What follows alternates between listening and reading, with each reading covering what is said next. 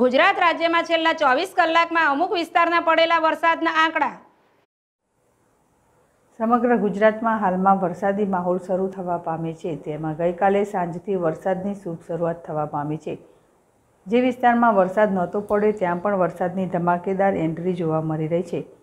તેમાં ગાંધીનગર જિલ્લામાં માણસામાં ત્રણ પોઈન્ટ પાંચ ઇંચ વરસાદ અને રાજકોટના ગોંડલમાં પાંચ ઇંચ વરસાદ, અમદાવાદના સાણંદ ચાર ઇંચ વરસાદ તેમજ સાબરકાંઠાના પ્રાંતિજમાં ત્રણ પોઈન્ટ પાંચ ઇંચ વરસાદ નોંધાયો છે અને દેગામમાં નવ એમએમ વરસાદ નોંધાયો અને રાજ્યના ઓગણત્રીસ તાલુકામાં એક ઇંચથી વધુ વરસાદ થવા પામ્યો છે.